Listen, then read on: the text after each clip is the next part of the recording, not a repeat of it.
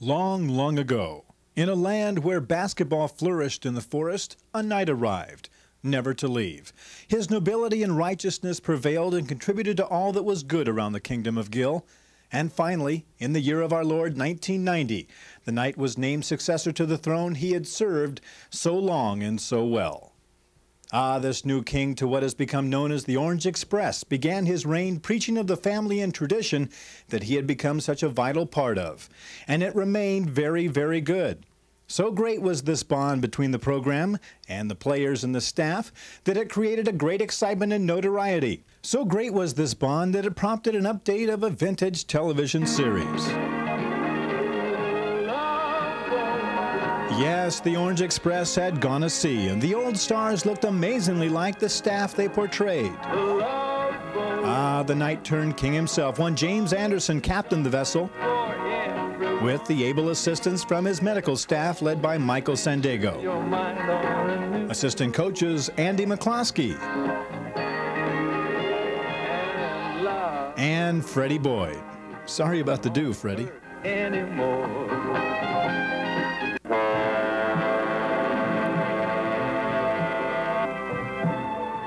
The bon voyage to the Anderson reign began at home, actually, with three home games in Gill Coliseum.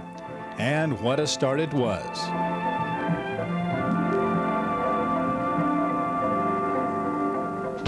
After two week tests and exhibition, Jimmy Anderson's debut was, well, more of the same. OSU jumped on the Warriors of Marquette to lead 15 5 after 5 minutes and 27 12 after 10 and coasted to a 71 57 victory. Will Brantley grabbed team honors with 18 points and 6 rebounds. Another fast start against Arizona State as the Beavers scored 10 straight points to lead 21-8 after 6 minutes and coasted to an 87-64 victory over the Sun Devils. Gary Payton played with the Devils, recording a school record 15 assists, scoring 21 points, and helping force 23 ASU miscues with four steals of his own.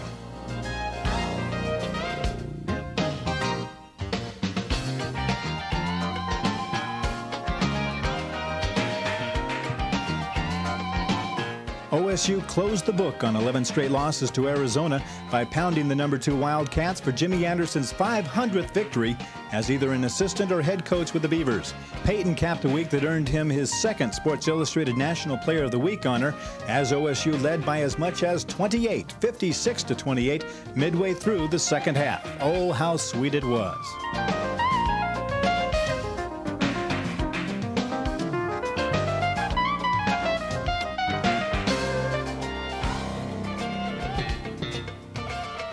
Despite erasing an early 10-point deficit and leading by six in the first half, Oregon State fell to the then nationally ranked Tigers of Memphis State 78-72. Brantley led OSU scoring with 22, Gary Payton had 13 assists, and Teo Alibegovic contributed a career-high 11 rebounds. It was Payton again at Tennessee as he showcased his talents in front of his easternmost live audience and eight NBA scouts with 39 points, 9 assists, and 3 steals. Brantley chipped in 24 as the two produced one of the most outstanding backcourt efforts in Pac 10 history and a 96 90 overtime victory over the Volunteers.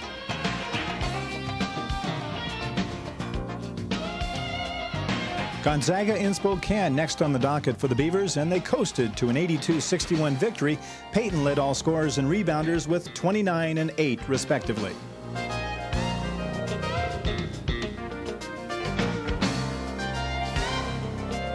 A mid-December evening in Gill Coliseum and scoring records abound. Gary Payton, 48 points. Bo Kimble, 53. Loyola Marymount, 117. Oregon State, 113 time to catch your breath as the Beavers end up on the short end of a record performance, and you can't say it wasn't entertaining.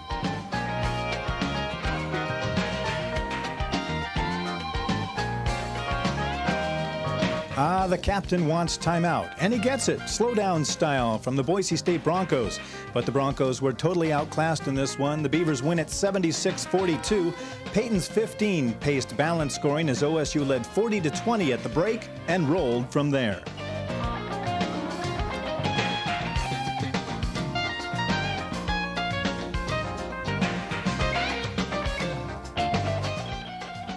OSU opened the Far West Classic with a lightning start and never looked back to spot the Terriers of Boston University.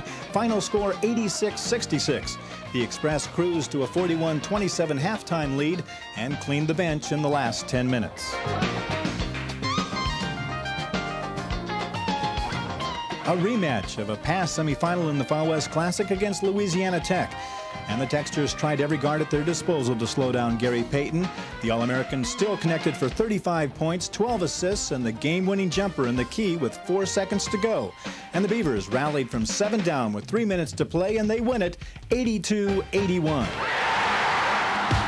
Oregon is next up, the final, and OSU blew out to a 15-point advantage, but squandered it and saw the Ducks close to 69-68 with 44 seconds remaining.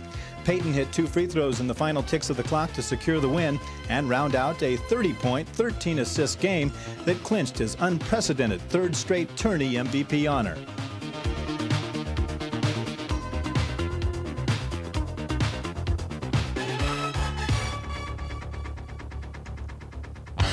A 2-0 start to conference play in November, and now it's time to get back to the Pac-10 action.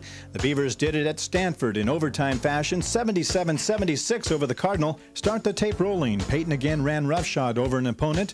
His line, 36 points, 8 assists, 7 rebounds, and 5 steals.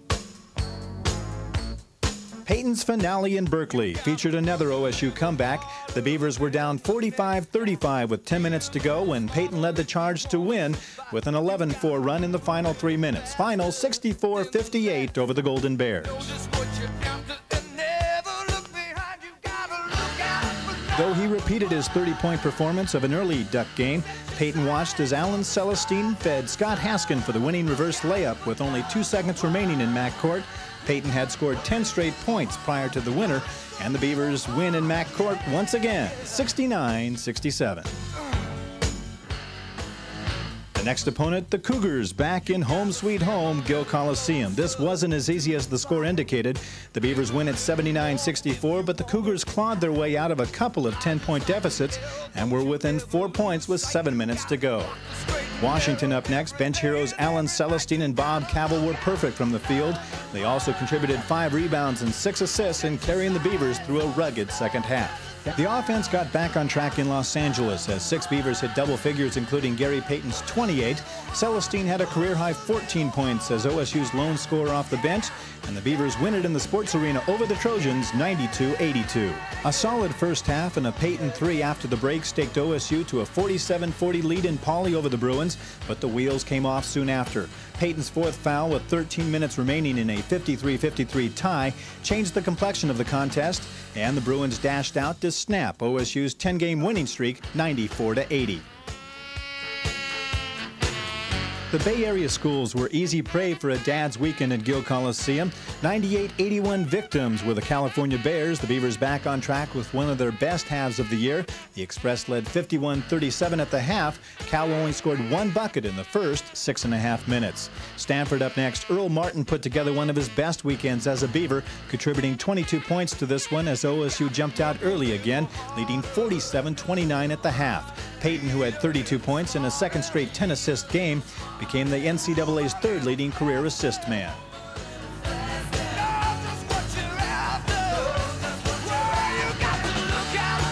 Don Monson has to be thinking that it just wasn't meant to be. And maybe it isn't.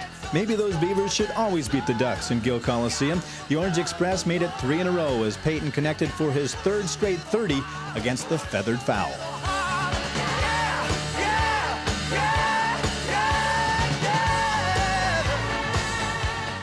ESPN and Sports Illustrated picked a very untimely opportunity to showcase Gary Payton. This wasn't a case of the Huskies outplaying Oregon State. It was not a night for anyone. OSU was just more due for a forgettable performance.